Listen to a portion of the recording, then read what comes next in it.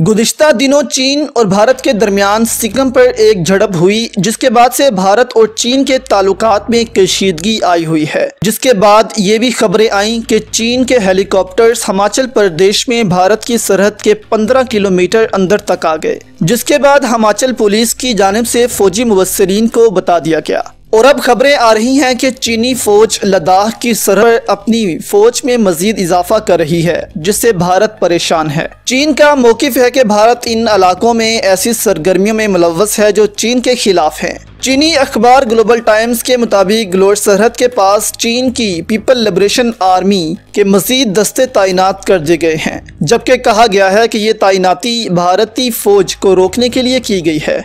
एक तरफ़ जहाँ दुनिया कोरोना वायरस से लड़ रही है तो दूसरी तरफ़ भारत है कि अपने पड़ोसी ममालिक के साथ हालात कशीदा कर रहा है और एशिया का चौधरी बनने की कोशिश कर रहा है, जिसे चीन और पाकिस्तान कबूल नहीं कर रहे। जबकि अब तो नेपाल भी भारत को आँखें दिखाना शुरू हो गया है, जिससे दुनिया में भारत की जिल्लत में मजीद इजाफा हो रहा है।